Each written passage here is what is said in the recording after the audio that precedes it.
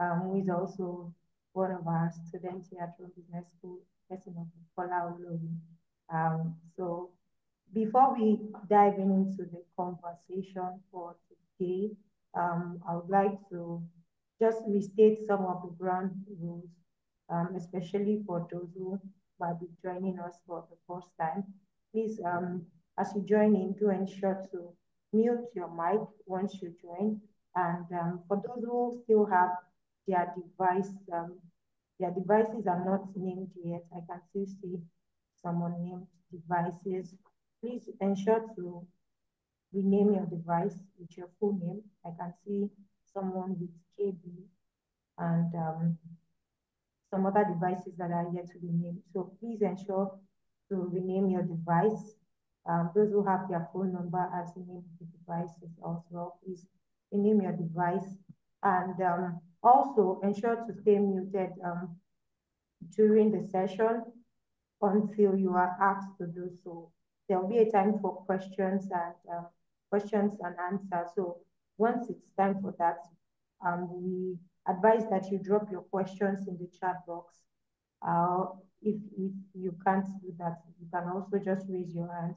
For much more, we would prefer that you drop your questions in the chat box. And once it's time for that, the moderator would also take that up. Uh, so um, also, I would also like to say that if you are, if your camera is going to be on, if your video is going to be on, please ensure that you are in a good position um, if you want to keep your video on. And um, if you know that you can't um, be in a very good um, position, you can just keep your video or your camera off um, during the course of the session. All right, so also we are going to be sharing a survey um, towards the end of the session. Um, we noticed that some persons dropped their name during the sessions. So um, please note that we would not um, take your details from the chat box, would um, rather get your details from the survey that will sent. So do well to fill the survey. If you need the recording or the slide for this session, for today's session, so we'd only share that with those that fills um, the survey. So do well to fill the survey um, once it is launched. Okay, so I think um, I'm not missing anything. I think that's all for my end. So um, once again, I welcome everyone to today's session as I hand over to Bukola to um, bring up the speaker. Bukola. Thank you very much, uh, Maka. Um, once again, good afternoon, everyone. And you're welcome to Rome Business School Nigeria Business Leadership Development Program. Um, today's topic is aligning HR strategy with organizational goals. I don't know if you can hear me. If you can hear me, please drop a chat. You can hear me. Yeah, we can um, I guess you can. All right. My name is Bukola Luri. I'm a senior woman resources officer at Brian Moro. And it's my pleasure to moderate today's event which has bring um, top personality from prestigious institute and the heart of and the heart to business, Rome Business School. And I'm so excited about today's program, especially. Um, today we have a special guest, Mr. Um, Dr. Onduka Okyoso, um, who will be speaking to us on the topic aligning HR strategy with organizational goals. I'm going to start briefly with Ms. Dr. Onduka's brief bio. Dr. Onduka is a human resources professional with over 16 years of experience in human resources management. He has his first degree in dental surgery from University of Lagos and a master in management information system from University of Britain. He's an associate of Chartered Institute of Personnel Management and is also certified in analytics on talent management by the Human Capital Institute. His HR career started as an analyst in human capital at Phillips Consulting, where he was involved in recruitment, um, training, business process review, and HR strategy. Dr. Onduka moved on to KPMG in 2007, where he was involved in recruitment exercises and learning and organizational development for leading companies in various sectors in Nigeria. In 2011, he joined Airtel Network as the head of talent management with the responsibility of designing and implementing employee engagement to achieve corporate goals. In May 2015, Dr. Onduka joined Forte Oil PLC as the head of talent management, where he worked in, in cooperation with key businesses and HR leadership to co-create, to co-create, execute, lead, and evaluate the um, impact of key talent processes for Forte Oil and its subsidiary, including but not limited to talent acquisition, performance management, talent development, succession planning, and retention optimization. He later joined Midwestern Oil as oil and gas as the head human resources. His role involves developing and implementing the company's human resources strategy in line with business requirements. He's currently the MD slash CEO of Soresal Services and HR advisory firm. Uh, I'm going to hand over to Dr. Onduka to brief us on the topic. And um, I'm going to also have that if you have any questions while the presentation is going on, you can note it down and drop it on the chat and um, we'll make sure to go to your questions. Um, over to you, sir, Dr. Onduka. Okay, good afternoon. Can, can everybody hear me? Bukola, can you hear me? Yes, yes, we can hear you, sir. Yeah, we can hear you, sir. So thank you. Awesome. So thank you for that introduction. And I welcome everybody to this session on how you align HR to your organizational goals. I always say that um, HR is very key in any organization. Even in, the, in these days of age, AI and all that and technology, you still need an HR person to do certain things. It's, it's the iterative process that you can automate, but nothing beats that human feeling, basically. So I'll just share my slide and we'll just talk through it. And um, basically, can, can we see my slide? Can yes, we see the slide? That's it, sir. Okay. Awesome. Yes. Yes. Okay.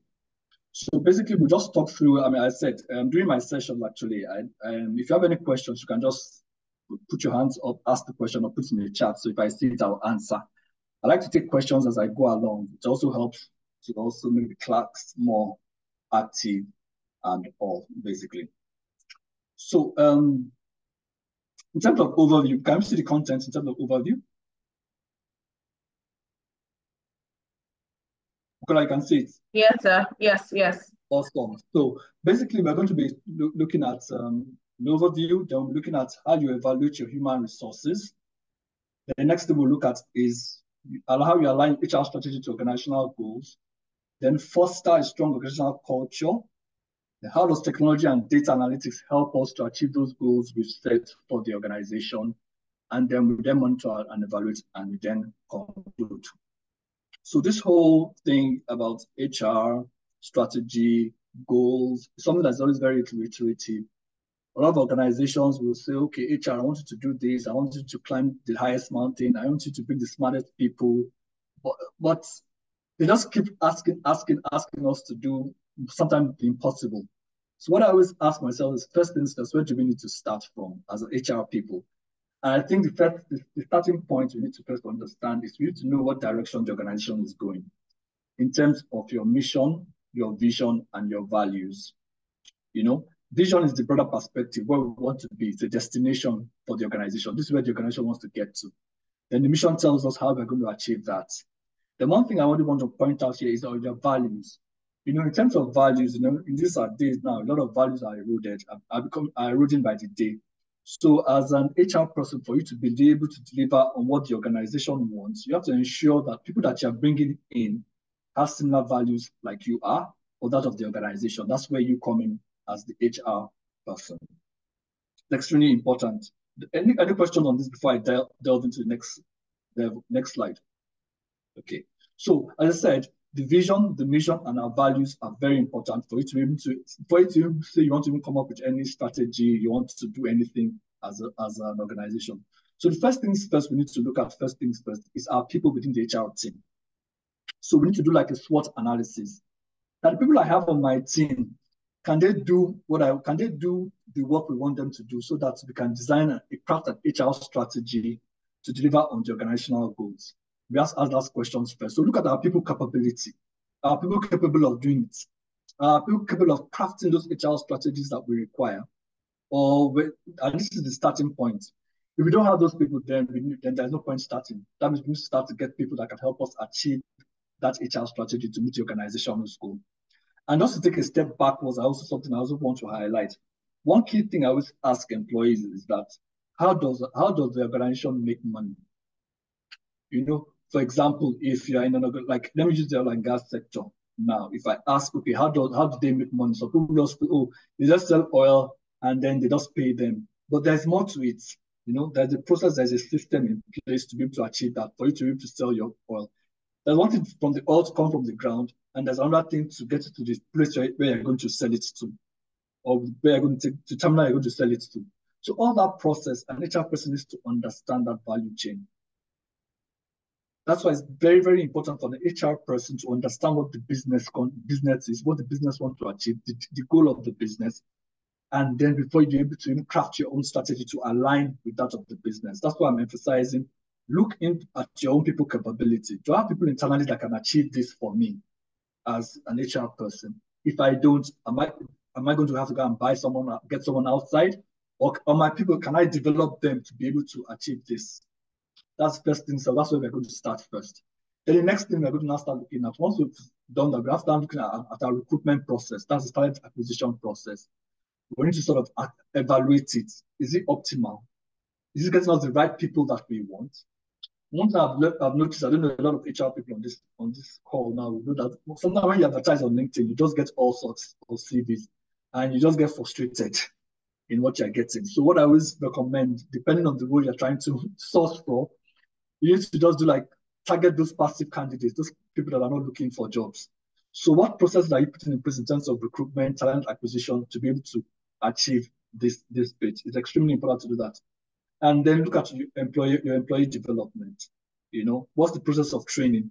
Do you, is training feel good for your organization, or just say, okay, uh, we have some someone has given us a brochure on training. Okay, let's send people to training and let's go and do training. Or is it tied to your performance management system, where you identify the gaps and then you train these people? Another area you also need to also touch on another process is your compensation and reward. This is this, this, this is a big ticket item here. You know, compensation and reward. Although some people say money is not everything, but I'm sure we heard that joke. There's better to be crying in a Rolls Royce than in, in, in a Volkswagen. But anyway, as I said, you need to get your compensation and reward system optimal also. How do you reward your people? How do you compensate them? Are you within the industry? Are you paying below the industry or paying above the industry? So the onus is on you, HR, to be able to get this information, to find out where you're paying, where you're where you're paying at, where you're paying above or below the industry, and how you're also rewarding your um, personnel. We'll elaborate that uh, on that more as we go further. Then also your performance management system, is it robust enough? Is it objective enough? You know, we're, mid, we're mid-year now, so a lot of companies will probably having their mid-year appraisal either in June or July. You know, there's what goals set from the beginning of the year till till now, or everybody's just going with the motions. So you need to evaluate your performance management system to be able to understand this bit also. And also engagement and retention, extremely key. There's one thing in bringing people into your business, and another thing in able to engage and retain them. That's extremely crucial. What processes do you have in place to be able to do this? That's the question I'm throwing out. Do you have a, a, a do you have initiatives that we can put in place for our employees? Or what's our retention strategy? When someone says they're going, just say, okay, bye-bye, be going. Then start looking for the next person to able to um, bring them in. Any questions so far? Questions, comments? Okay, okay, I'll check out. Okay, then, okay, no questions so far. So I'll move on to the next. This, okay, no question yet. Awesome. So, so the next thing we're going to be looking at basically is once we have evaluated our human resources, and put, sometimes we need to study our own house first before we start saying we're creating a captain strategy for the organization. So once we've studied a lot of all these things we then go ahead and then start to align it to the proper HR, uh, align to the proper organizational goals. First things first, HR people, you are the gatekeeper of any organization. That means you are the person, you are the gate to ensure that you get the right people into your business. So you now start to look at your talent acquisition strategy. What are those recruitment strategies you can put in place to ensure you are you hire the right people? For example, I was talking to a candidate who is was interviewing for a client, and the client had said, "Okay, let's have this interview on social and so date." So he got ready and he was online, and he was waiting 30 minutes, 40 minutes, 50 minutes, and they came back and said that, "Oh, the person that's supposed to interview just entered, got into a, a meeting now, so they had to reschedule." That's already a bad taste in the candidate's mouth recruitment needs to be taken seriously. So the recruitment manager that needs to be on that interview needs to know how important it is to be present. You know, so those things are because that point of contact of recruitment with you, it tells a lot about your organization. So it's extremely important for us to look at our talent acquisition strategy. So if we're having an interviews now, everybody should be aware. The CVs should be ready.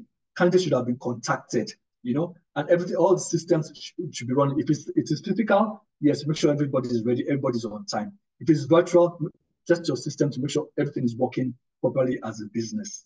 It's extremely important. That's where HR comes in for that. So your time, that's why your recruitment strategy is extremely important for any business. Then even the whole process from the from you having your recruitment requisition form for you, and again, when managers bring um, um, a form that oh they want to hire, as an HR person, you need to also ask questions.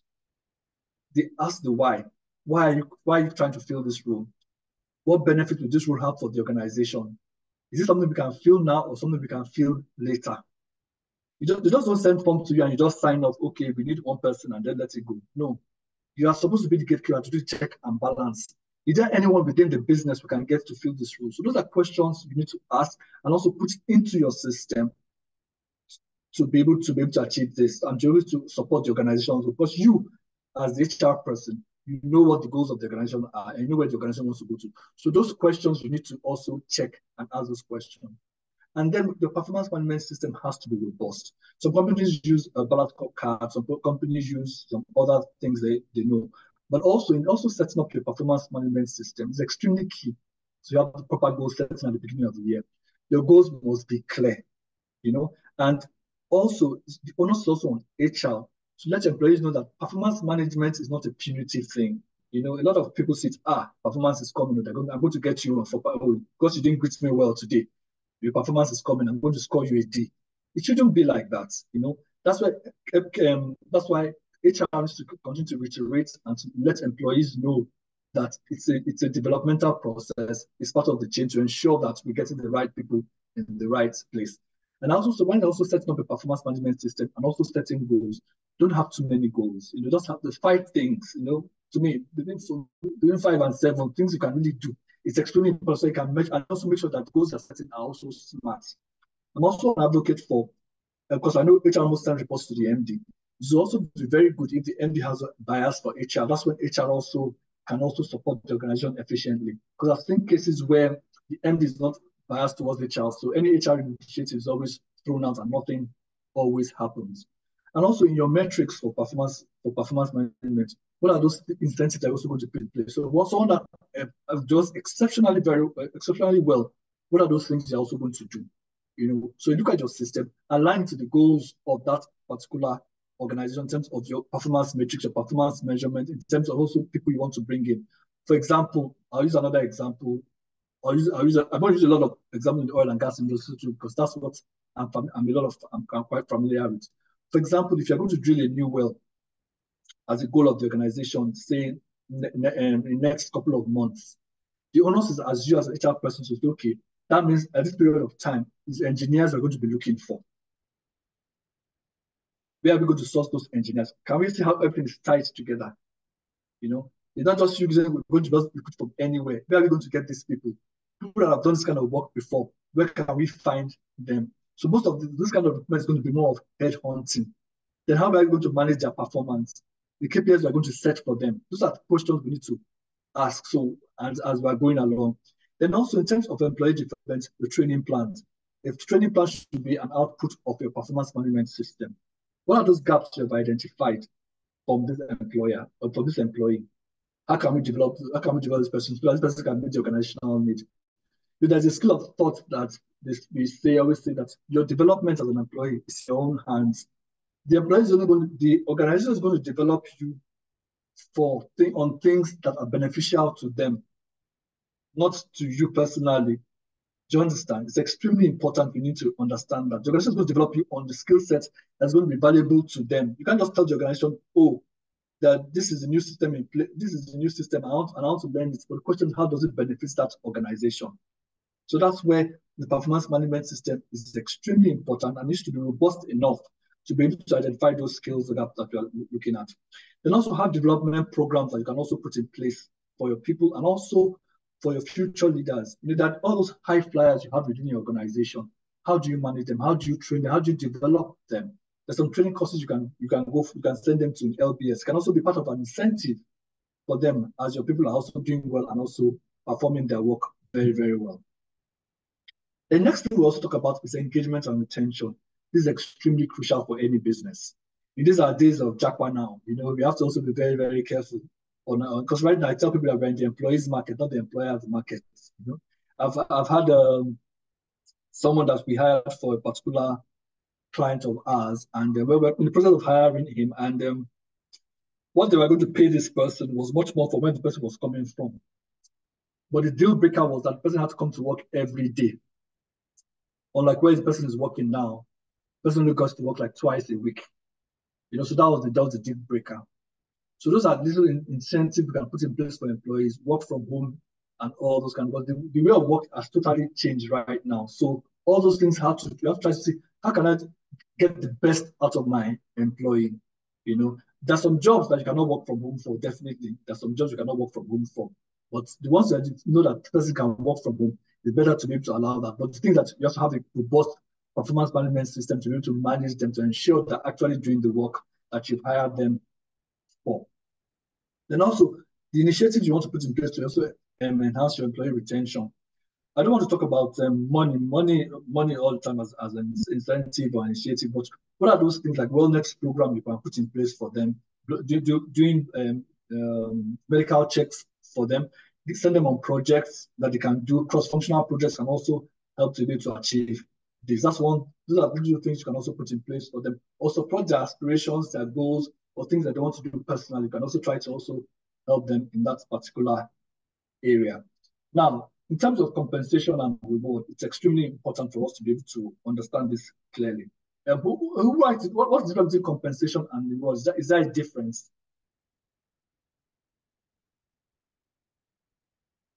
Is there a difference between compensation and reward? Who wants to help us out there? You can put on the chat. What's the difference between compensation and rewards? They're always, they're they're always together a lot of times. But there's a, oh yes, there's a difference. So who wants to help us? Anyone wants to help us? The difference between compensation and reward. Okay, yes, and Jude, you're saying yes, there is. So what it? What is it? You don't want to You are saying yes, there is a difference. So can you help us? You can just um, raise your hands and I will mute you. Yes. What is the price you get from, okay, good work and compensation is part of benefits of the job. I think you are mixing. So reward is the price you get from good work. Compensation is part of the benefits of the job. Reward is what you get after KPI review. I think you you you mix them up. okay, Adolf. Okay, is it, okay, is it Victor that wants to? Victor Patrick. Yeah, okay. Can you hear me? I can hear loud and clear, crystal clear.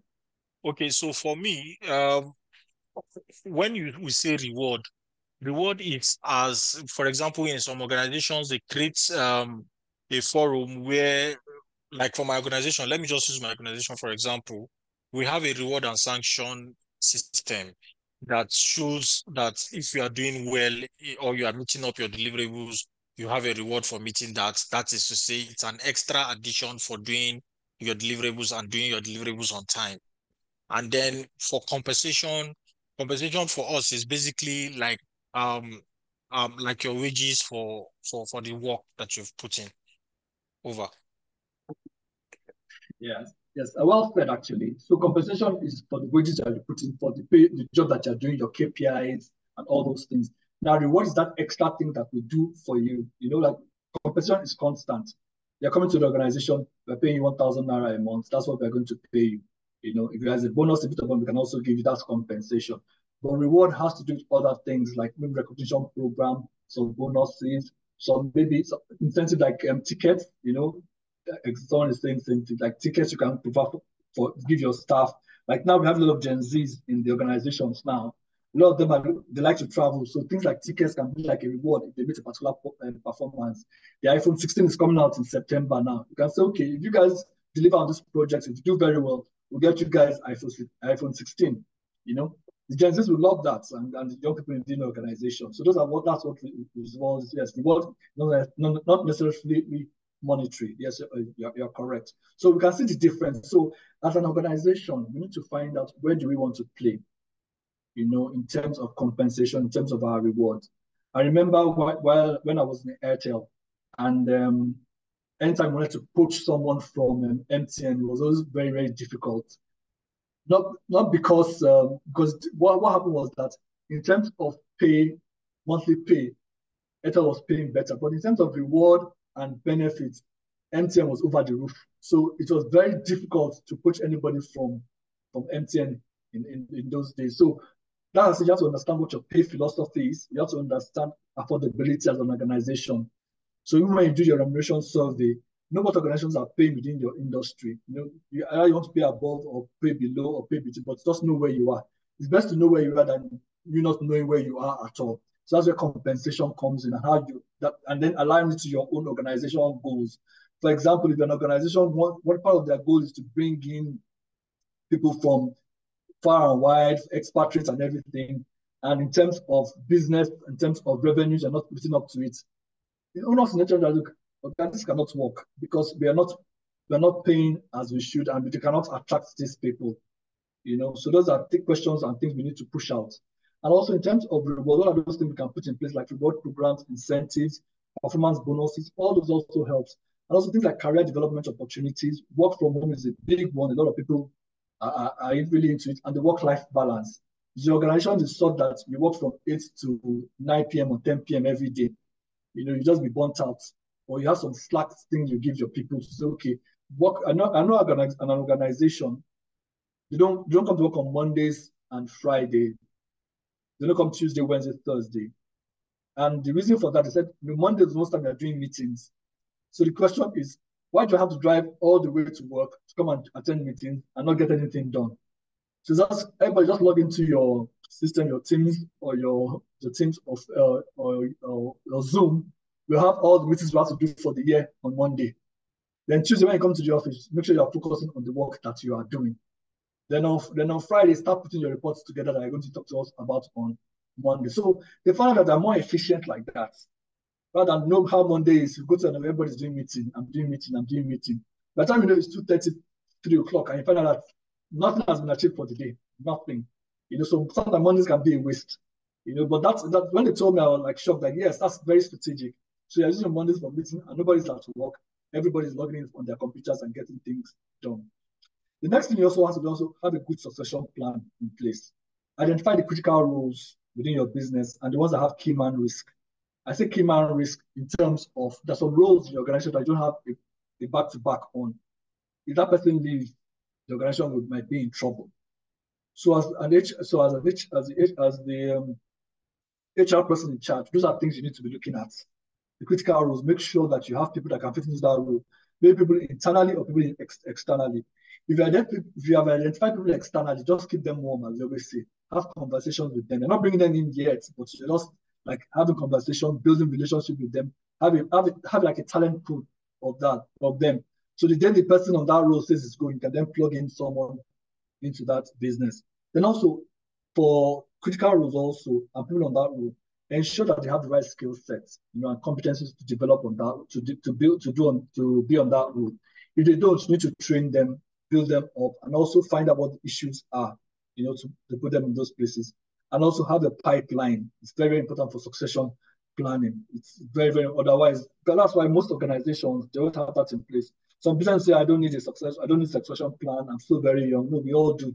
Because a, a business is an entity, not an individual.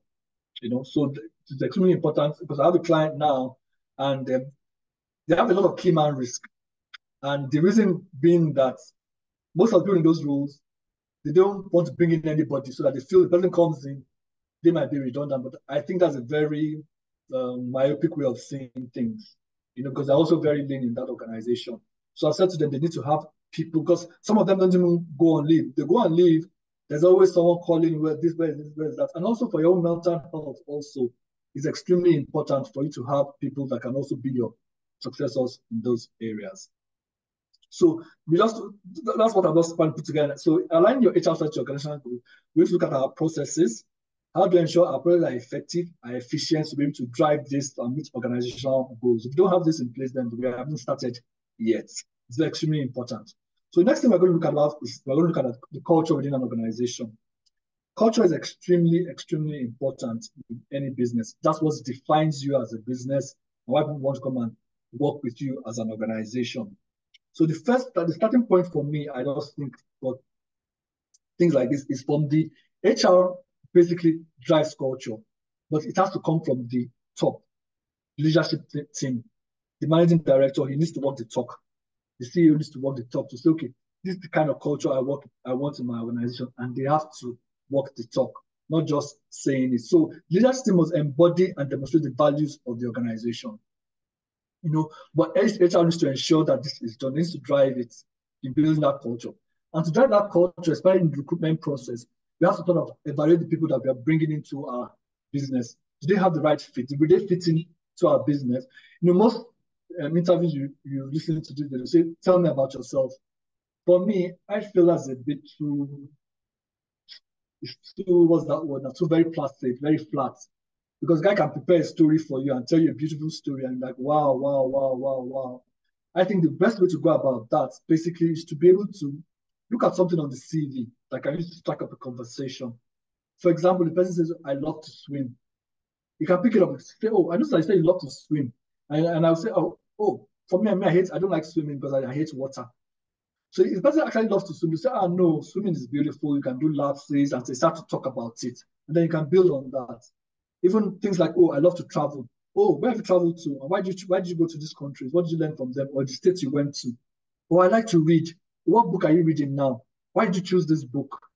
So asking all those questions, you're trying to see the way this person thinks, how, how their, their, state of mind, how they can how they can be a good fit within your organization before you then start to build into the technical questions. So you can start with the behavioral question, get to know this person. I call, I call it speed dating. You know, you're asking honest question. You're not saying, tell me about yourself. How do you do this? How do you do that? Do you understand that? Building up a, a rapport, building a conversation based on what you've seen on their CV and see how they respond. It helps a lot. Then the values and culture you desire to see.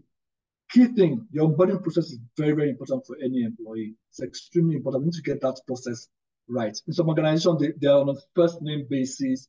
But you know, in this our culture and our tradition, you can't call someone much more older than you by their first name. But you can also create a way. For example, if someone's name is Taiwo, and maybe the person is maybe a GM, his name is Taiwo. You probably want to call him a Taiwo. You can say, oh, Mr. T. You know, things like that you can bring it so that there is um that, that, there's fluidity in the business. Everybody is relaxed. You're not coming to work all tense. So that's one key role HR needs to foster within any business.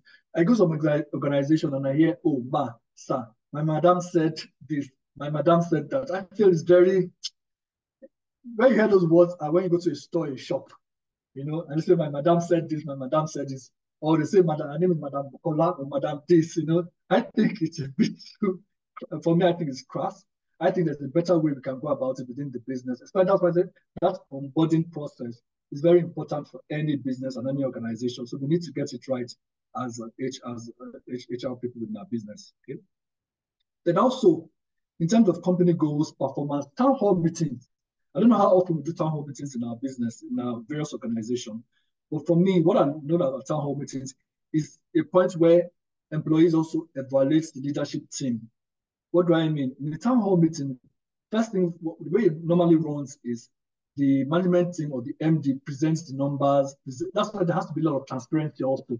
on the part of the organization, present the numbers, this is how we performed against where we want to be. So that when employees are doing their ask, they can also see it clearly. You know, because sometimes the employee says, oh, the company is making a lot of money, but they forget the overheads that also comes with all that. You know, you can make a billion and your overheads might be 700 million, 800 million and all these other things. So I think that's where transparency comes in doing an organization and doing your town hall meetings and things that you agree on in the town hall meetings with staff. Make sure that you do them because the next in the next town hall meetings, these are going to be the, sub, the, the subjects of discussion. So you bring those things out to speak to them to say, okay, you guys ask you ask for a new caterer. As you can see, there's a new caterer in the business now, and this is and this has been done and all that. So that builds that builds trust with you and the organization. It's extremely important. And also have a good feedback mechanism for your employees where they can also give feedback on things they're happy with, things they're not happy with. And also try and create team building sessions where everybody can work together harmoniously. There's a saying that, oh, we don't have to be friends, we can just work together or we are colleagues. Fine, true, but if you're in a team and you're a manager of a team, I think it's, ex, ex, it's very, very important for you and your team to be, to be together and to be like friends, understand each other properly. Because I always say that your people are working for you while you are working for the organization. The team are going to make sure that you look good in front of the MD. So we need to learn to build that rapport among our team members. Parents say, oh, he's my colleague, she's my colleague, but you spend about eight hours with them every day. In a week, spend 40 hours with them. Unlike your friends outside that you hardly ever see. So now who is the colleague, who is the friend? So it's important for us to build those relationships up within our business, uh, our various business, so that we can also thrive and uh, deliver what is expected. This is also good for our culture within the organization.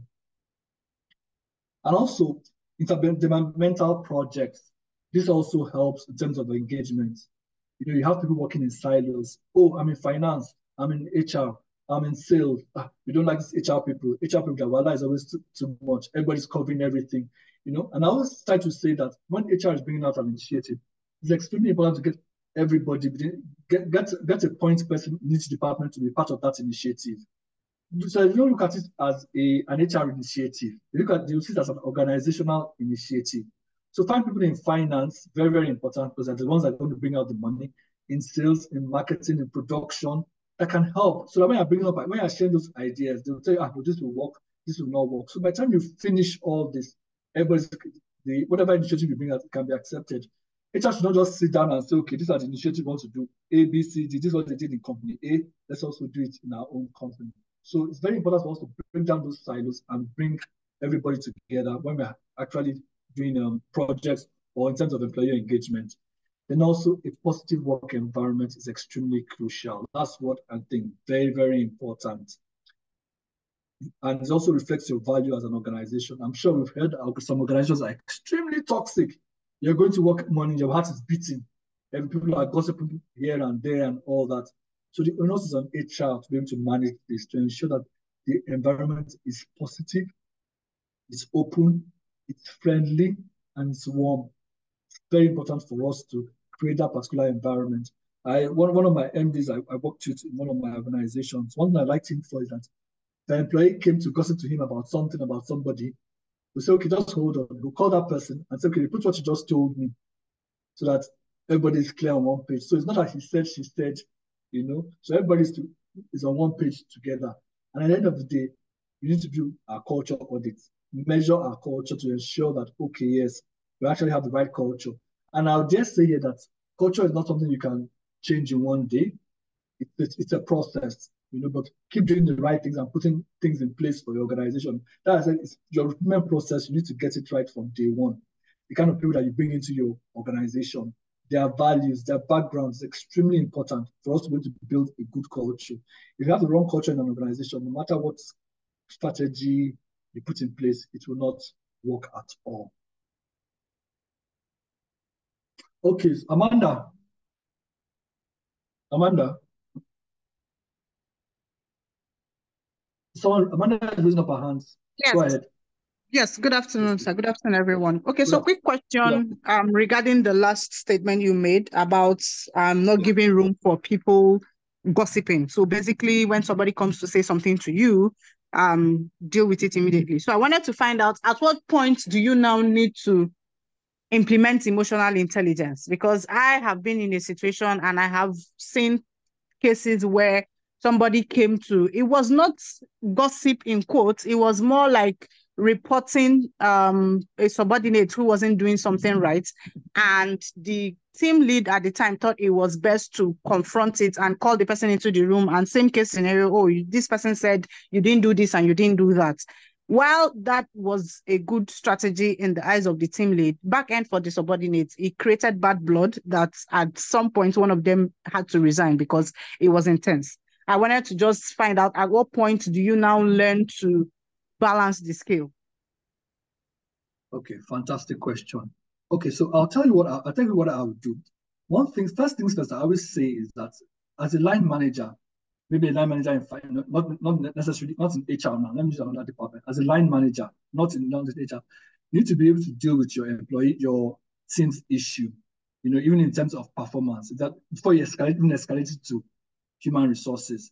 That's why I said something about culture. It comes from the top. So in terms of emotional intelligence, you have to be able to read, understand the person you're dealing with. Some people don't like their matter in public. That's why they say sometimes you scold in private and then praise in public. So you have to be able to balance that. If this person, particular person, is not doing very well, not achieving, uh, what conversations have you had with them? You know, how can you also help and also support them? Not carrying their matter to HR to tell HR, oh, this particular person know, is not doing very, very well, but you've not had even had a discussion with that particular person. So it's extremely important. Emotional intelligence is key, but you also be able to understand that maybe in emotional intelligence, they say you have to be able to put yourself in that person's shoes. So that's how I will deal with it. I'll, I'll ensure that I said there has to be a relationship between that person and the subordinate, subordinate. And that's what where we are a lot of us are lacking on in that. Patrick. Victor Patrick, your hands are up. Go ahead. Hello, Victor. Okay, yeah, thank you very much. Yeah, thank you very much. Um, in fact, I like the particular the parts that you talked about um toxic um, and the HR need to come in. Um, yeah. This question is an experience-based question. I I once worked in an organization where the toxic person in this case is the HR, and I, my understanding is that the HR is supposed to be the people's person, and um, she was she was not able to manage conflict each time we have conflict in the organization. So in this case, I know that in in in an organization, hiring is key. The, the kind of skill set and kind of person you engage in an organization is very key so that you can be able to manage the temperament of the person. But this HR in this case is the person that is creating um, the kind of rancor that we're having in an organization. So as a personnel that is trying to strive and trying to balance um, situation, what are you expected to do when you have that kind of HR person? Thank you and over. Okay. Thank you. That, that's brilliant. Thank you. Thank you for that. When, when you have an it, it, HR is toxic, that's a major problem. But if HR is also toxic, the, the onus is for the MD to notice that this HR is toxic. If they don't notice that, then that's then that, that's a major, major problem. That's why I said earlier, it's always good for the MD or CEO of an organization to have a bias for HR. You know, because to do that, because that role, putting for HR if the MD himself or CEO wants to change that culture of toxicity, he needs to ensure, ensure that the person is bringing to run that department understands his vision and mission and the kind of culture he wants to create. If you have a toxic HR in the business and the, the um, senior, the leadership team can't see that or identify it, then there's a big problem in that. It's going to be very difficult for you to manage that because they will just be causing conflict among people within the business. You can approach them and your attrition rate will now start to go up and they'll be wondering why your attrition rate is going up. I would have said what you can also do is that I don't know whether the HR department does a survey. It should be an employee attitude survey that you do, employee attitude survey that you also conduct. If HR throws it out, then you can see all, then management can then see that HR is actually the problem and then um, sort out the issues. But still, Basil, your hands are up, Basil, go ahead. All right, thank you so much, sir. Yes. All right, my question goes like this. Uh, does a line manager have the right to fire um, one of his team members? Then, then, then, and and the, and the HR will go ahead and implement it. Or is HR not supposed to do an investigation first, at least to find out the reason why he should be fired? I don't know if you get my question, sir. I do, I do. So basically, okay. what normally happens, but okay, way it, is that for, it's not the, you can't just fire someone like that even as a line manager. You cannot fire someone like this. If it's based on performance, there has to be evidence that the person has had performance over a period of time. And you must also have, and if, if it's based on stealing or anything, there has to be disciplinary with HR, legal, internal audit, and chairman of the committee also has to be there. So, so that when you're firing person, the same fired person on poor performance, let's use that as, as an example. Where's the evidence of poor performance? What did you do to correct that poor performance as line manager? If you tried, if you did, eh, if you didn't do anything, then what's the, what's the? That's why I said HR needs to also investigate. HR should not just do take it and HR mm, should question why are you firing? Okay, it's not performing. Where's the evidence? I have no evidence. How can you say it's not performing? Okay, this is the evidence. Then, okay, what did you do to ensure that I started performing? Then uh, outline, okay, we went to this development program, it did this, it did that. Okay. I've had a conversation with the employee himself, why he's not performing very well. So there's a process before you can fire somebody. So there has to be some conversation that going, going on between the line manager and also the employee HR president there. So a, a line manager can just wake up one day and fire someone. And HR to also dance with it. That's wrong. Yeah.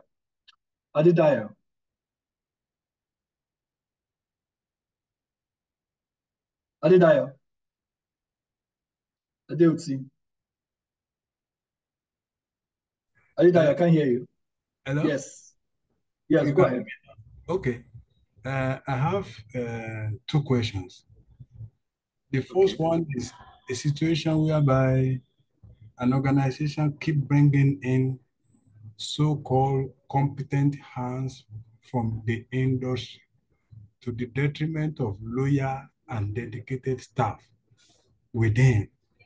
And that one is now constituting a disincentive. And the people who have hitherto been loyal to the organization are now looking outside for better opportunities. How do you reconcile this? Because some of the people that are actually hired from outside, they are not experienced as experienced.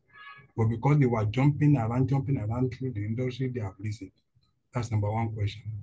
The number two question, one of the tele telecommunication companies lately fired about 20 people from one of their units after implementing AI. Is this a sign of things to come? Or what is the challenge with the AI? Does it pose a threat in the industry? Thank you. Okay. Um, the truth of the matter is that te technology is moving at a very fast pace. That's a lot, it's moving at a very fast pace right now. And a lot of processes are also being automated. Uh, the reason for that is to also drive efficiency and also effectiveness within any organization. You know, I always that we, um, it's always best to also put yourself in the organizational shoes. An organization exists to make money. That's why the, the, the existence is to make money and also impact their society. Why an organization exists. And most organizations also find also try to find way of how can we also cut our costs. You know, and personnel cost is also high. So if I can get an AI that can do certain things for me and automate something for me, why do I want to put a human being there? I'm just being very logical. So it is it, but there will be some rules. That's why I'm saying that the jobs nowadays are evolving and changing. The traditional jobs are sort of eroding and now there's some new jobs coming along, the technical jobs and all that. So that's where, in terms of building our skill set, that's where areas we need to start to focus on. There's been a dramatic shift, and it's time we need to start to focus on those areas, those new tech jobs that are coming up on, because but there's some jobs that technology will not be able to replace. Then in terms of your first question that you asked, in terms of um, loyal employees within an organization and um, bringing in new people to join the organization, there are, there are two things I'll, I'll address here the, the, the loyal people in the organization, are they, are, are they competent? They've been competent over years and they're delivering on the expectation of the organization, fine, then there's no point in taking them away. Then these people that are bringing in, are they more experienced than people that I find inside? That's why the onus also on HR to say, okay, they're bringing in these people in. Look at their skill set, look at their qualification, look at what they've done before. These are the, the people that we have internally. what experience do our people have internally? You know, that I said you can look at loyalty, you can define it in two ways. You know, the people internally, are they delivering on what we want as an organization? The people internally, do they have the current skills that we require within the business? So it's not a yes or no answer. Everything boils down to the organization achieving its own goals. You know, I would say sometimes you can do a mix. I, I, believe it, you can buy your people. It's always good to also have a mix. Bring in people, but also grow your people internally. The people you have internally that are loyal, have you developed them enough to be able to deliver on the objective of the organization? Or you just left them static, you didn't do anything, and they themselves didn't do anything to themselves. They just thought, oh, I've been in the organization for 10, 11 years. My client has not developed me. I know this thing very, very well. I have a client like that. He's had people in his business for a long time. But in terms of value, they're not really having that value. But the thing that they also feel very entitled. So it's a two-way traffic, really. There's not, it's not a yes or no answer. It depends on where the organization is at that point in time and kind of skill set that they require. So I'll take one last question now from Adolphus before I move on to my next slide. Adolphus, oh, Adolphus has gone. Shimilore is here. Question, Shimilore, before I move on to my next slide. Shimilore, can you hear me? Okay, I'll move on to the next slide. I can't hear him. Hands are up. So now, after we've looked at the organizational culture, next thing is how do we how do we use technology to achieve our goals? First things first, technology has come to stay. Let's not debunk that. The way of work has changed. So technology is very, very important in everything that we do. So the extreme. So nowadays you don't put in your CV, oh, I know how to do Microsoft and all that is it's, it's a given. PPT, PowerPoint is a given. All those things are a given. You know. So from the HR team, first things first you start for is your workflow plan, your analysis in terms of the workforce. What, what workforce would you need in the fix in the future for your business? What are the trends within the market? Because every day the trends keep changing. Market is changing. New businesses are coming up. You know, it's extremely important. I remember days in um, in Airtel then when we had um, at the, the, towers that we had generators. We had all those things placed across different country, different uh, different states. We are buying generators. We are doing this. But over the years, they realized that look, the role of Airtel and MTN is to is to sell voice, to sell air you know. So let's focus on selling our air and outsourcing other things to people that are very good in it. For example, the generators can be managed by a company that will just be, or we just be paying for, we just be paying on usage of the diesel. In terms of the towers that we use, the company can be handling the towers. We're paying on usage. So that's why I said, as, as an HR person, what's your workforce plan about? What's your analysis? What's also your scenario plan? You know, in terms of strategies for your workforce.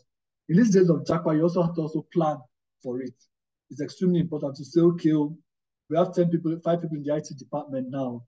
And the, the age range within, uh, if, I, if your organization, you have people between 25 and 35, you know, you know that, okay, they have, they have Japa plans.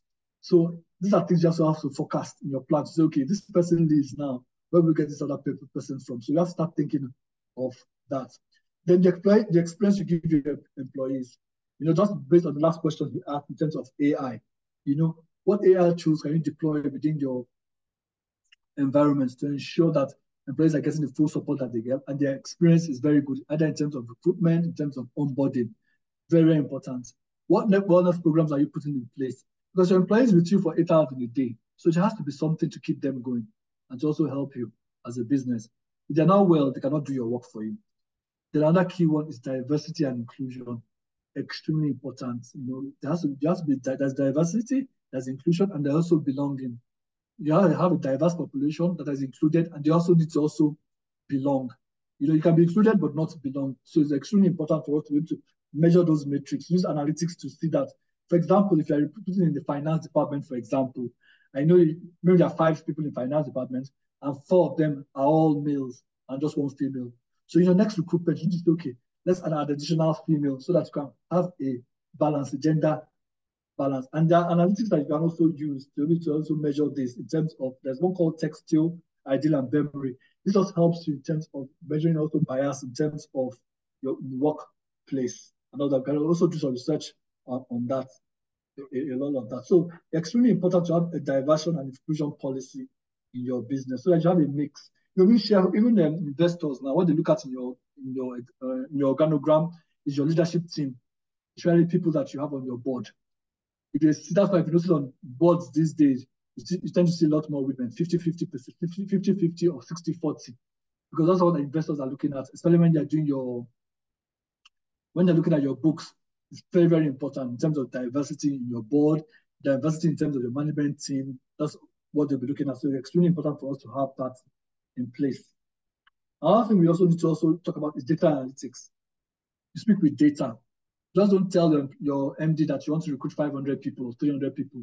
What's the benefit in terms of monetary, monetary terms? If I bring in 10 people, this is how much revenue we're going to grow in our business. And also, how do you measure productivity? Very, very important. Data data analytics is key. And also, retention and turnover, attrition rate. You know, as I said, you have to be able to measure it. What was your attrition rate last year? What was your attrition rate this year? You know, with the Japa thing, attrition has been a lot. You know, so you have to also be to plan for it. Which departments are, are people leaving the most? Like uh, mostly the tech, tech, the techie guys.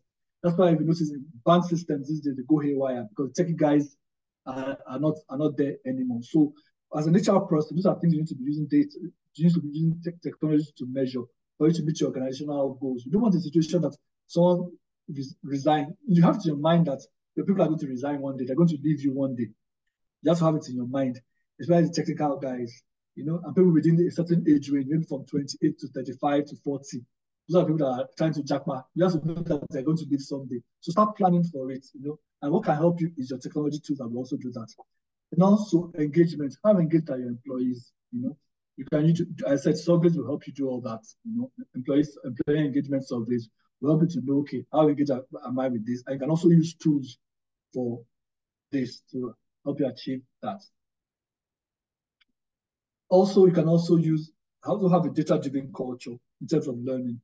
Extremely important. You know, there's a lot of e-learning tools online right now that you can also plug into. So you need to also HR people, you need to also train yourself on technology. Extremely important. You know, a lot of a lot of HR um, applications on apps now. So rather than you, person can go on leave and just use this app to go on leave. These are things we need to start to introduce within our organization. And also data literacy. How can people learn? There's Udemy, there is um, links, there's LinkedIn, there's Coursera. Build yourself up in that, you know, understanding all these technologies, understanding all these things, and try and foster foster a learning organization. What you can also do, maybe once a month, have like a training. So someone you know can do a training for everybody. You know, you can do like have a training plan that you're doing that. Start them so that will train on their business.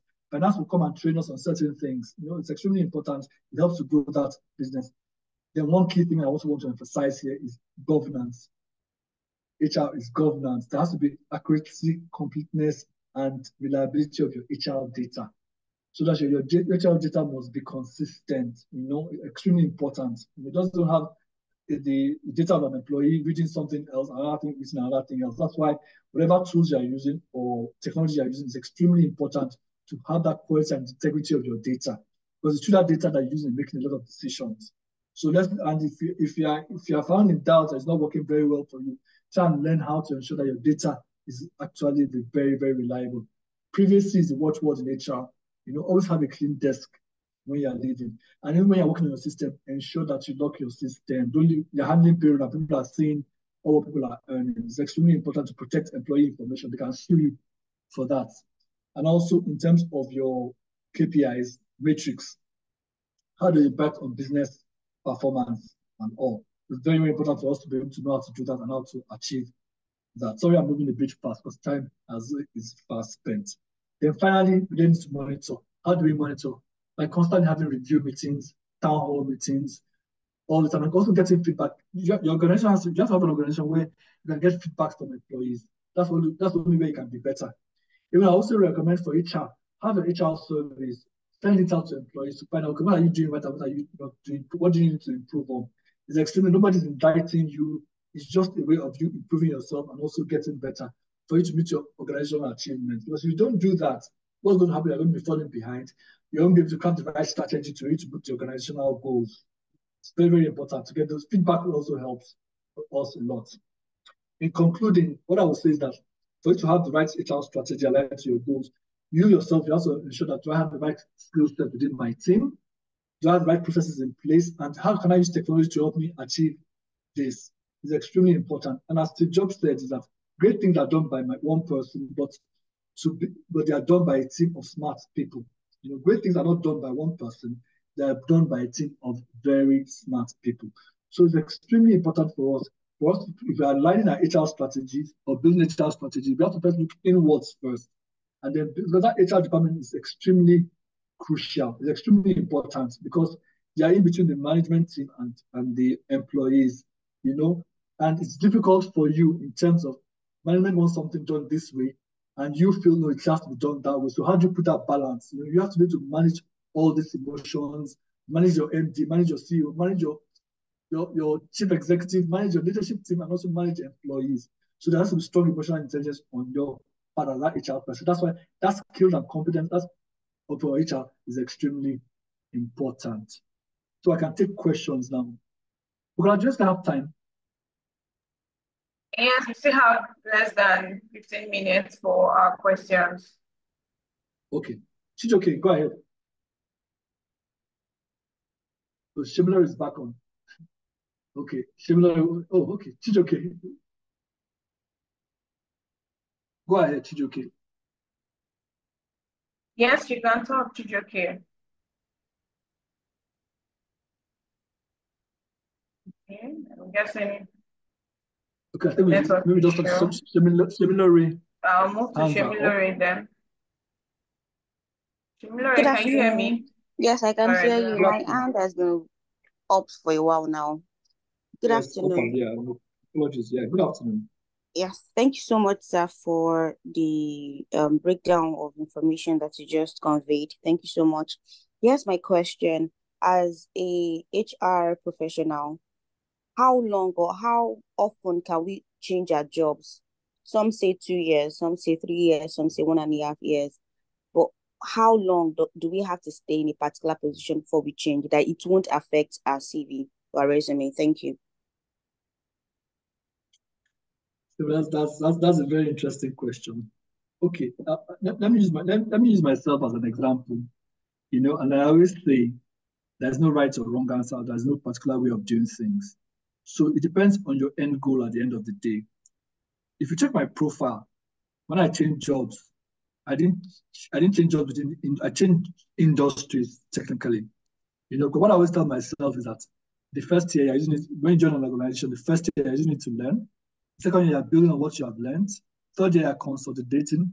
By the fourth year, you need to start um, looking at, especially if the organization is not offering you what you really desire as an HR person to grow, you know.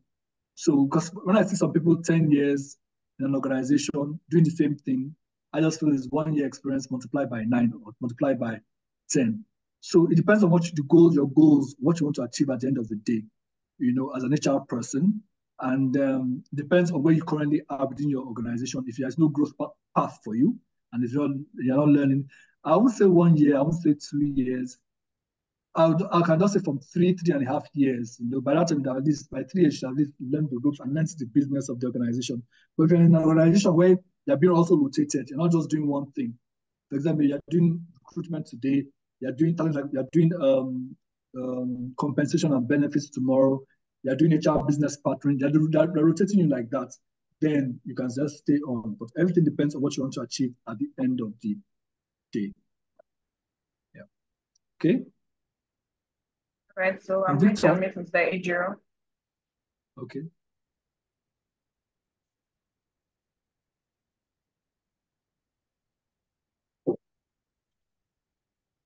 Ejiro, Mr. Ejiro.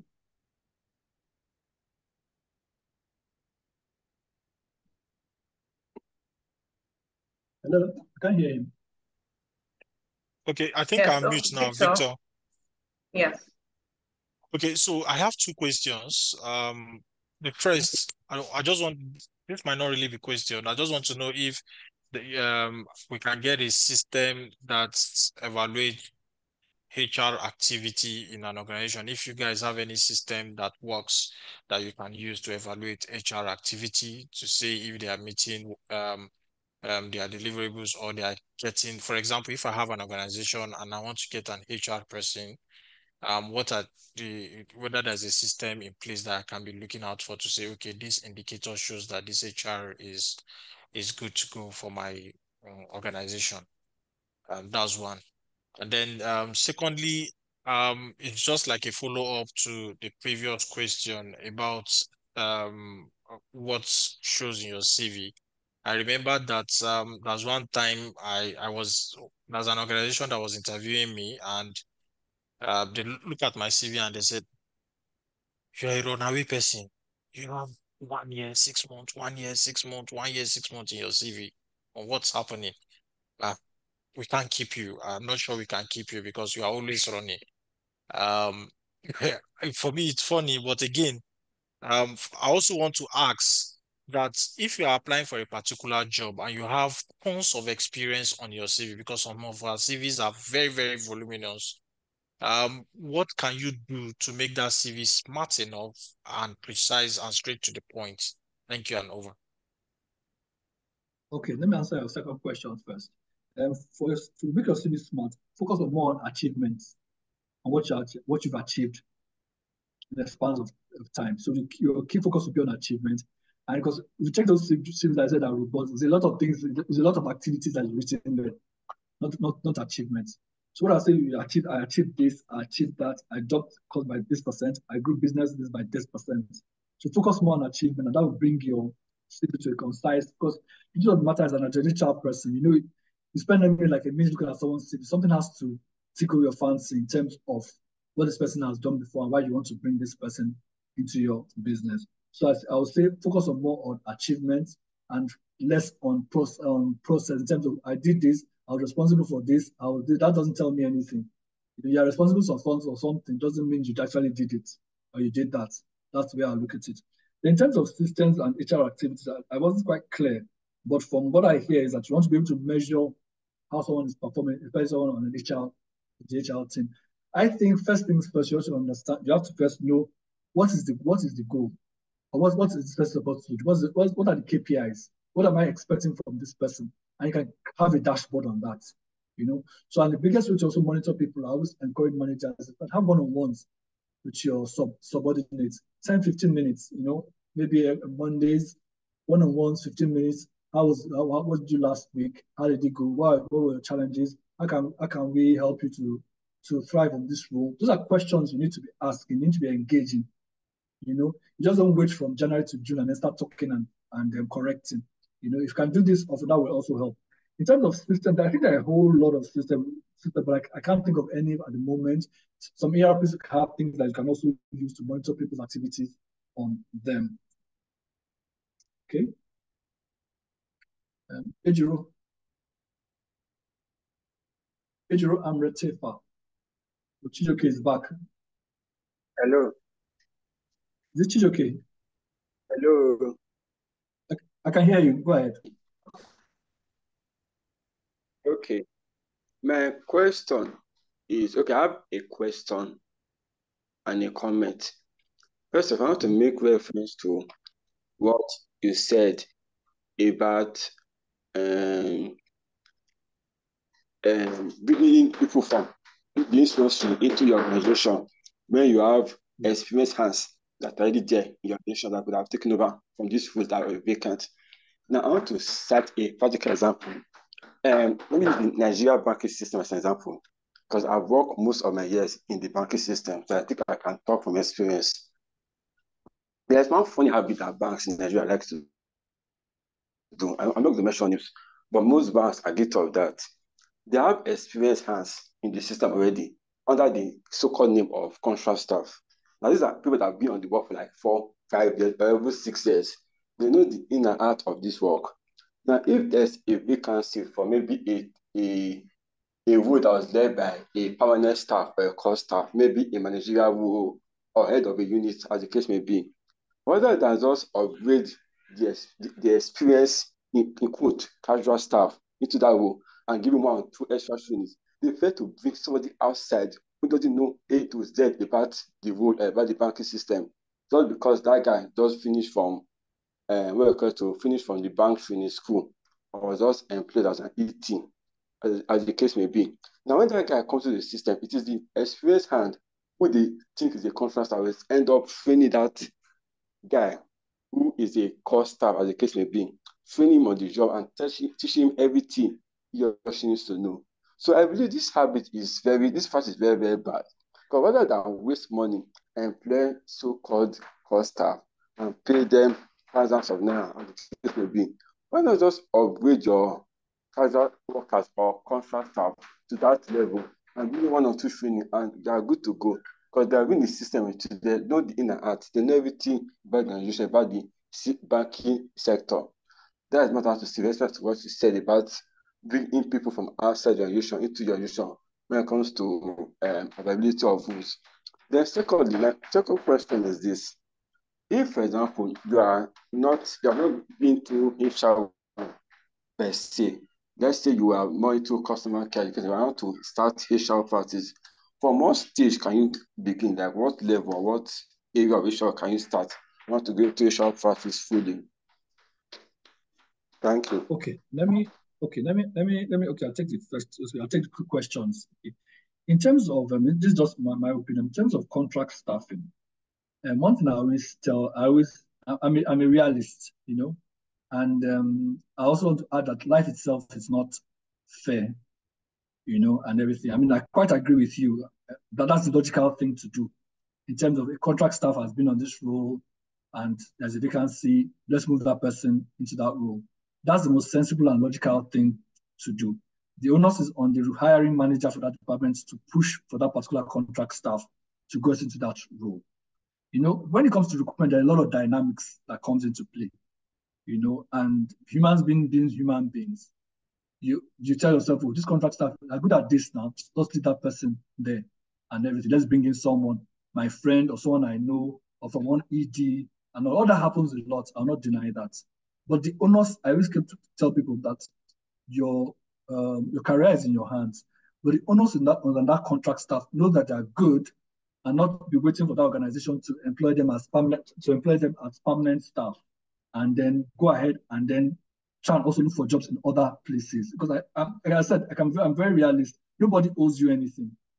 There can be a role available and you are the best person to do that particular role here, but they can give it to somebody and the person is not as competent as you. HR can talk to the line manager. Why don't you move this person? The onus is on the business to be able to do that. That's where HR also comes in. You know, if that line manager is not pushing for that contract staff, how would HR be able to do that? You know, that's number one. Sometimes HR can push it and say, okay, this guy is good, let's move it and then run it and ensure that person is brought on board. So that, that I said, there's a lot of dynamics, not, not a yes or no or maybe answer. A lot of politics also is also part of it that also enter also be part of that, that situation. So it's a situation we just have to manage as an HR person. You know, it's difficult. But I can give you a simple example. This role is, is vacant. There's a contractor that can do that can do this work. And there's a customer that I have outside in the bank that's okay. I'm going to bring like, is it um, 100 million to your bank, employ myself to do that let that contract staff teach that person.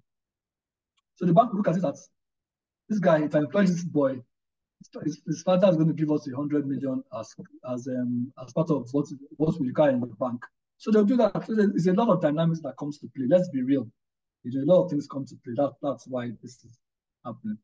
Yeah. Yes, thank you very much. Yes. Yes, and also to add, uh, part of what I've taken from this whole the conversation is upskilling and reskilling. Uh, we are in the area whereby AI is taking over. As an HR, we have to upskill ourselves. We have to learn how we can survive even when it comes in.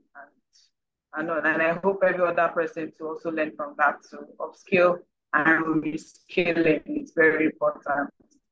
And HR strategy is it has, like you said, I was happy you mentioned the politics in, that is involved because we all yes. have we all work in organization. Politics is like a it's like a key thing in HR itself. So it comes in. It might seem unfair at a point, but it is what it is. And um, the fact of uh, recruiting somebody for a new position where we have somebody who could have upskill. Um, also, as an HR strategy too, if you ask me, when it comes to maybe um, banking sector now, I would, if, if the strategy is to um, strategize, bringing some people's um, knowledge or whatever they've learned, I would prefer to uh, to recruit somebody from another company because of what the person will be bringing into the organization. So sometimes it's not about um, bringing um, um, it's not about recruiting a, a new person just because the person has more experience, but it's because of the strategy that HR has sat down with the management that, okay, we want somebody with this experience. We want somebody to bring in a change into the organization. So um, I don't know if that's helpful for any other person. We have um, two more questions, but we might be taking one because our time is fast spent. Yeah. So I don't know so if you made a very good yes, point sir. in terms of you made a very good point in terms of politics, you know, and that's what HR tries to deal with. You know, there's always there's going to be politics in any organization. Let's not fool ourselves. So what HR tries to do is just to manage, understand it, manage it, and not taking any sides. You know, as an HR, that's where you need to understand the politics. Who are the key stakeholders? How do you manage them and ensure that things are working with them? So politics is, is, is embedded in any organization, and it's extremely important for us to do that. Yeah, Jude, go ahead. I said, I'm just highlight that. Jude. Um, after Jude, we'll be um, done with our questions. So um, Jude will be the last person. I think Jude if you have any question, question, you could just drop it on the. Okay, I think Jude has had a question before. Um, Tosin. Let's take Tosin. Yes. Tosin, you okay. can unmute yourself. Yes. Yes, thank you very much. Good evening, sir. Thank you for the insight session. Yes. Yeah. yeah. So my question is this why is it that some HR would rather want you to drop a resignation letter before you will be asked if you want a raise or before they give you what they think you deserve? Um, so this was the situation that happened to a friend, and it had to get to the point where okay, the person has been trying to convert from a contract staff to a full-time staff for a long time. And when they did review with the teams that I was working with, was working with two major teams, one of them said, oh, he wasn't delivering, maybe because of the feedback she got anyway. Then the other team were like, okay, we can take him on board. But it got to a point that he got frustrated, having been on the contract, not being staffed in for months, and he decided to drop his res resignation letter. Immediately he dropped that letter. Everyone started running everywhere. What do you need? How much should we pay? And I asked the question, why does it have to get to that point? And I got one shocking feedback that says, oh, that is how it works here. So yes, I've read a lot on Twitter and people will say, if your organization is offering you more money at the point when you're leaving, don't take it. But surprisingly, in some organizations, that is how they operate. Uh, if he was to wait for the company to make him a staff, they wouldn't have paid him up to the amount he was asking as when he wanted to leave. So I just want to understand how do you i mean how do you then progress in that kind of organization? I mean you just have to sleep and wake up one day and say okay today i need to threaten them with resignation so that they can increase my salary maybe by a 200000 and if you're not doing that they will keep telling you oh you're doing a good job but sorry we cannot give you a raise now. Oh you're doing a good job but sorry we cannot give you a raise now. Highest can get is your appraisal bonus. So i just want to understand the dynamics. I mean how do you differentiate a raise that comes because yes, they know you deserve it and they're giving you because you deserve it. And then how do you differentiate it from the one that they will give you and they'll frustrate the hell out of you to leave that organization? So I just want to understand the dynamics that, that works okay. in that situation. Yeah. I, I said it's not people that call themselves um, HR people that, that understand the concept of human resources. You know, for me, such, such, such organizations are just toxic, and um, if you go and check the culture there, it's bad. You know, because one thing I believe is you're giving a raise to, eh, to someone going to give a raise to everybody. And if the person is resign, and I always tell anybody that if you drop your resignation and the company says, oh, wait, don't worry, we'll now increase it, that's a setup for you because you've already pulled the trigger. So you better use it. You know, that's why I don't know who has watched this movie, The Good, the Bad, and the Ugly. You know, when you point a gun at someone, make sure you use it. So you've resigned and they say, okay, no, don't resign, we'll give you this. They're still going to deal with you along the line. So I think there are a lot of bad HR practices out there. A lot, you know, a lot, in a lot of companies, a lot of bad HR practices. So, but that said, the onus is on the head of HR to stop this kind of practice. And that's why you to have an HR where HR team where someone wants to resign to come and meet you. You haven't sensed it for a while. So, look, things are not working out here for me. I've gotten another offer, you know, and everything. Have that conversation with that person. You know, so HR needs to be open with your people, you know, and let them and let people be also be able to trust you. I tell people for you to know you're a good HR person, and a employee should be able to come with you to say, I've gotten an offer, am I believing? What do you think? So it's you to now advise the person to say, no, I think you should stay, this is work uh, and all that. That's why I said employee engagement, retention, all those practices, all those processes needs to be in place. You know, but if you have an organization when you resign, they now say they want to increase your salary, I think there's a, it, it, that was just bad HR practices. And there's a lot of, of that going on now, you know. And HR is always in bed with the leadership team. You, you, have, to be able to be objective as an HR person and see what benefits the organization. Come with your data. You know, if someone is doing very, very well, and you notice that line manager is sort of, I've had situations like that, the line manager is stifling that person. The onus is on HR to be able to let your team know that, okay, this person is actually good. The line manager is the one stifling this person. That's what HR is meant to do. You're supposed to protect your employees.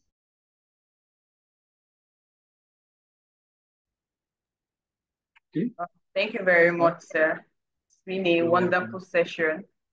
Um, our time is a fast spent, so um, I don't know if Doctor has a few words of encouragement to us.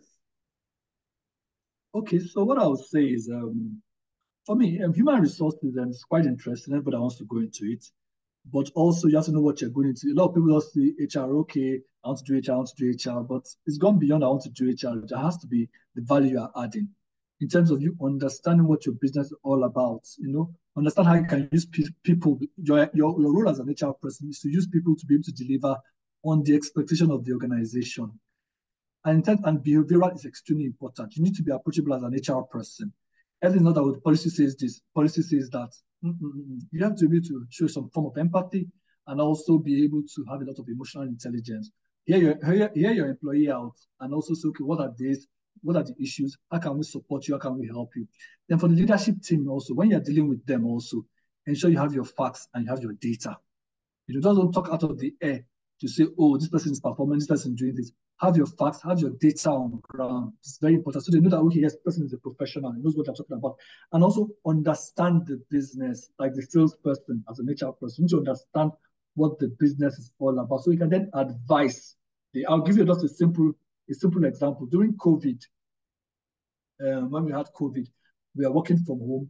Um, in terms of oil production, it had it, it was very minimal, and also the, the amount um, the sale of oil had dropped like twenty dollars a barrel. So the organization are now saying, okay, uh, should we let people go? That was first option. The second option is increase people's salary and then cut it. Or the third option was to leave state status quo as it is.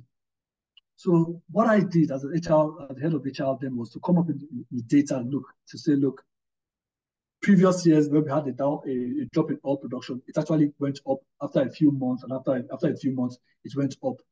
Then the challenge now is that if we let people go, employing these people again at a, at high crude oil price is going to be very expensive for the business. So the best thing to do is let's not do any increase in salary now. This is not the point, and start cutting people's salary. Let's just maintain status quo of how things are now, and then wait it out for the next couple of months to see how things go. I had my facts, I had my data. You know, that's protecting the employee and also advising management what they need to. Do. That's why if I do not understand the business, and I say, ah, since price of oil has dropped to twenty dollars a barrel, let's let people know so can't afford it to pay payroll and no, no, that's not that's not it. That's why also HR person and finance person must also be good friends somewhat, be able to say, okay, fine, this is the salary we want to pay. We also have to have, have savings for the rainy day. That's what finance people do. Ensure we have that, that backup. So when things happen, we can still pay salaries for a period and not spend everything. So as an HR person, what I'll just leave it here with you is understand what you see yourself as the business person in that organization, not necessarily HR, but a business person that's helping the using the people to get the business to where they want to get to. Thank you. Thank you very much, sir. Thank you very much. Yeah, sir. you're welcome. That. So I'm going to hand over to uh, Mr. Adeleke Edo to speak on Rome Business School program. Um, Mr. Adeleke, are you on the line?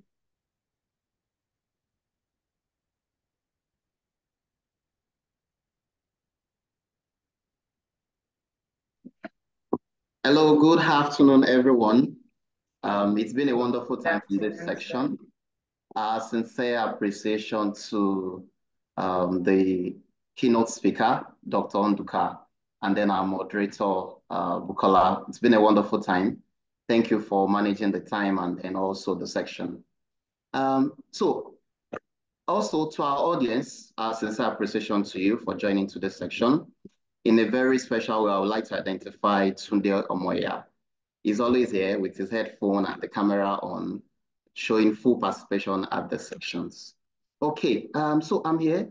My name is Idowu Adeleke. I'm one of the line managers in the admissions department of Rome Business School. Um, we collectively, my team, um, assists admissions uh, process, assist with admission process for the prospect. So if I prospect on this call, um, this session is just to give you a bit of what your expectation will be in the class, okay? Um, you can see that it's very interactive, it's very informative, and it's very insightful. So you're going to be having a whole lot more on this in your different classes also. Um, for the already enrolled students, this is part of the series of events for the Business Leadership Development Program. Okay, so um, you need an 80% attendance on this to qualify for the certificates, the complimentary certificates that comes with it. Okay, so it's been a wonderful time. For the prospects on this call, reach out to your admission advisor, reach out to him or her to continue with the admission process, come on board, benefit from the offer that the school is offering at this time, and then get enrolled. Thank you so much for your time. Do enjoy the rest of the day. Yeah, thank you very much. Enjoy yourself. Thank you so much for your time. And thank you for having me.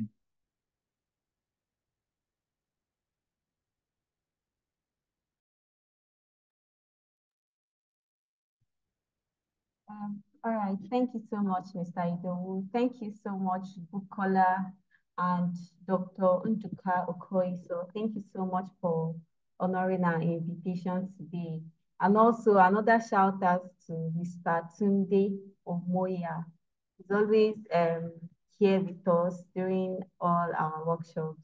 He's always um, putting on his camera in a professional way. Thank you so much. And to every other person on this call, I would like to appreciate us all for joining and participating actively on the call. And I believe it was really an insightful section. So um, our speaker, Dr. Nduka, is on LinkedIn as Dr. Nduka Okoiso. So you can do well to reach out to him, connect with him for some of us that have that still have questions to ask. You can still connect with him and ask him questions. He's, he's very active on LinkedIn and he's going to answer your questions. Sewe Sebatua, you can ask your question to Dr. Onduka on LinkedIn. He would do well to answer you. Also, Bukola Olori is also on LinkedIn as Bukola Olori. He is one of our students and soon to be alumni um, in human resource management. So you can also do well to connect with, him, with her as well. Idowu Adeleke is also on LinkedIn. You can do well to connect with him as well. Um, for some of us here that are requesting for the slides, please do well to fill the survey that was shared earlier. It's still on the chat box. You can do well to fill the survey. You get the slides and the recording of this um, program today. And thank you so much for joining. Also, a reminder to us that our career fair will be coming up on the 6th of July. So if you've not registered yet, you can do well to register. We'll share the communication across the different group chats or the different WhatsApp platforms. Please do well to register and make sure to um, come around on that day to participate. The venue will be at Providence Hotel here in GRA. Ikeja. So I would also like to thank our back-end managers, the ICT people, um, Francis, Mr. Sam Afariobon for, for back-ending this um, program today. Thank you so much for always helping out in arranging this event.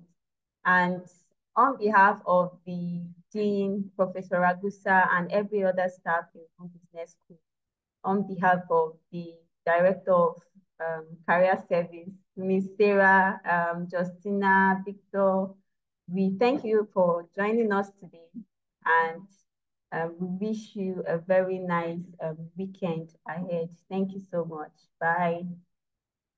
Bye. Ciao.